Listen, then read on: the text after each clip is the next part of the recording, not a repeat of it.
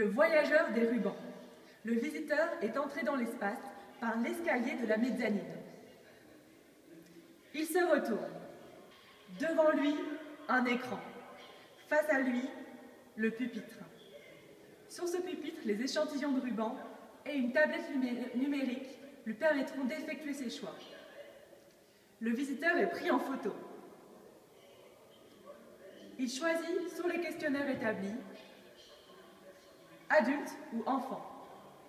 Puis peut prendre le temps de choisir la texture des différents rubans face à lui.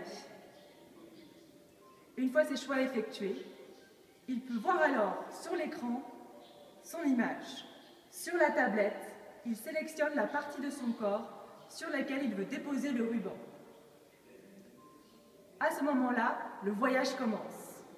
Un récit. Le visiteur est plongé dans une ambiance historique où le ruban a un rôle essentiel.